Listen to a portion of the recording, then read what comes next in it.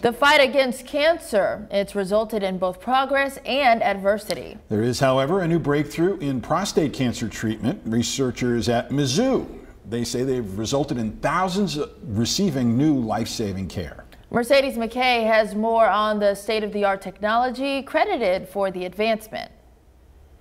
It's a breakthrough in cancer treatment and not many know it exists just two miles from Mizzou's campus. Unfortunately, it's one of the best kept secrets in the state. The University of Missouri Research Reactor, or MURR, is the most powerful university research reactor in the nation. It's quietly becoming the nation's most significant research reactor for fighting a disease that impacts us all. Every day, we're producing life saving medical isotopes to extend lives and improve the quality of life for cancer patients. The research at MURR led to the development of lutetium 177, which is now the active ingredient in fighting cancer. Because of that, MURR is the sole domestic provider of four medical radioisotopes. They attack these cancer cells at the cellular level without damaging healthy tissues and the side effects on patients are much less than traditional treatments like chemotherapy. Just to put into perspective how this building behind me is impacting people across the country. Just last year, half a million cancer patients received life-saving treatments, and that active ingredient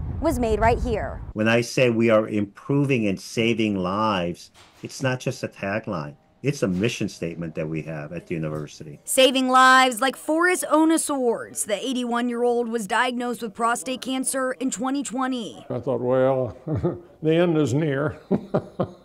my daughter, my daughter's an MD, and she says, Dad, it's, it's not a death sentence. And so sure enough, I've lived several years since then. but when chemo wasn't doing the trick anymore, Onus Ward's had to try something new. And for the past six months, he's been seeing progress and able to do the things he loves, like riding his electric bike. Yeah, as long as I can keep on riding, that's a good thing. It's wonderful to still be around.